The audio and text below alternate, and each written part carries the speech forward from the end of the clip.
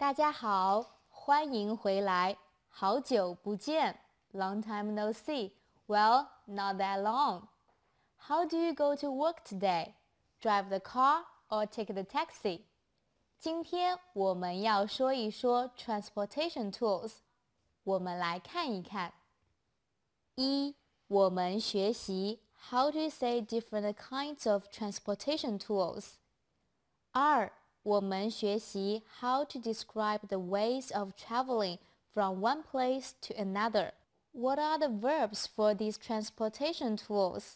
我们有四个 verbs：骑 to ride，开 to drive，打 is the verb for taxi.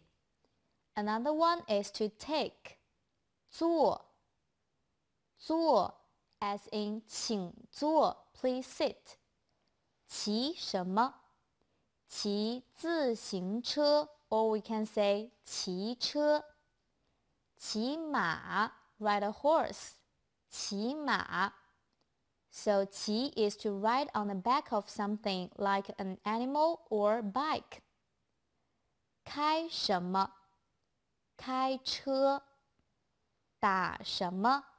打出租车, or we can say 打车。坐什么？Take what? In which transportation tools can you sit? 坐车，riding a car. 坐出租车，take the taxi. 坐火车，take the train. 坐公共汽车，take the bus. 坐飞机，take the airplane。坐地铁，take the subway。And the last one，坐船，take the boat。If you don't like these transportation tools, you have another choice to walk. 走路，走路，走 to walk to go.